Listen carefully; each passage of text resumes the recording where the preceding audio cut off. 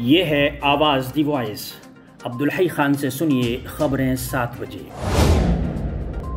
मगरबी बंगाल के हवड़ा के पंचाला बाज़ार में हफ़्ते की सुबह एक बार फिर पुलिस और मुजाहरीन के दरमियान झड़प हुई।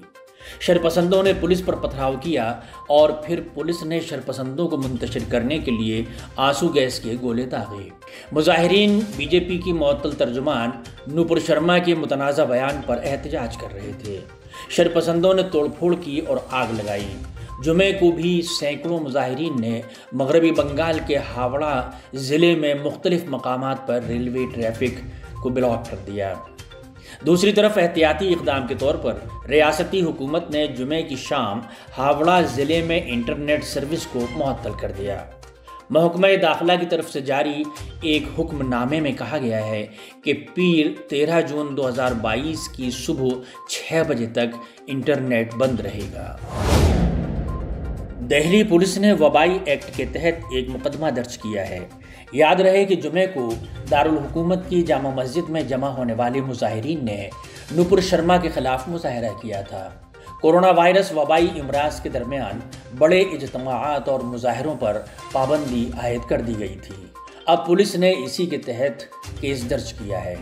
जुमे की नमाज़ के बाद तकरीबन पाँच सौ मुजाहरीन जामा मस्जिद के अंदर और उसके आसपास जमा हुए और बीजेपी के सबक तर्जुमान नूपुर शर्मा और नवीन कुमार जिंदल की पैगंबर इस्लाम के ख़िलाफ़ मुतनाज़ा रिमार्च पर गिरफ्तारी का मुतालबा करते हुए नारे लगाए थे।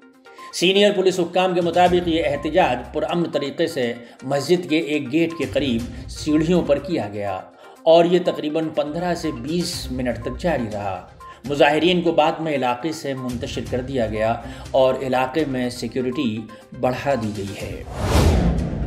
चार रियासतों, राजस्थान, हरियाणा, कर्नाटक और महाराष्ट्र में राज्यसभा की 16 खाली नशस्तों के लिए वोटिंग जुमे को शाम चार बजे ख़त्म हुई कर्नाटक में बीजेपी के उम्मीदवारों की वज़ीर ख़जाना निर्मला सीतारमन, अदाकार सियासतदान जगेश और एमएलसी लहर सिंह सिरोया ने पार्टी के लिए तीन राज्यसभा सीटों पर कामयाबी हासिल की। जयराम रमेश ने कांग्रेस के लिए एक नशस्त हासिल की, जबकि जेडीएस खाली रही। राजस्थान में राज्यसभा की चार सीटों में से तीन पर कांग्रेस ने कामयाबी हासिल की। जबकि एक पर बीजेपी ने कामयाबी हासिल की।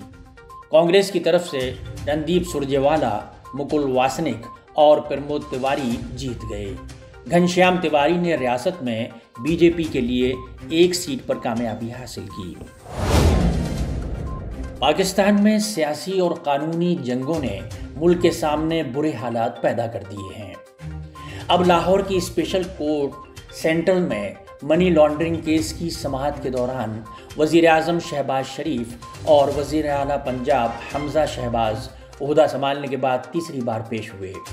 अदालत में समात के दौरान वज़ीर अजम शहबाज शरीफ ने खुद दलाइल दिए, जिसके बाद वज़ीर अजम और वज़ीर अला पंजाब की अबूरी जमानत पर फैसला महफूज कर लिया गया है।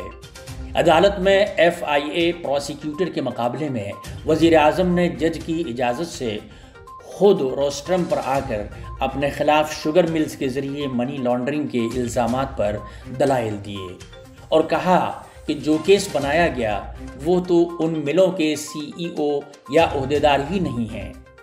कभी सरकारी मराहत नहीं ली, जो करोड़ों रुपए बनती हैं, लेकिन 20 लाख पार्टी फंड्स लेने का इल्ज़ाम लगाया गया है।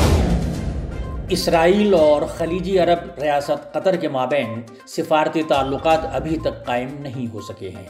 लेकिन इसराइली शहरियों को फुटबॉल वर्ल्ड कप 2022 देखने के लिए कतर आने की इजाज़त होगी। जुमेरात को रात गए इसराइल की वजारत दिफा, वजारत खारजा और खेलों की वजारत ने एक मुश्तर बयान जारी किया है, जिसमें कहा है, फुटबॉल की आलमी गवर्निंग बॉडी फीफा ने तस्दीक की है।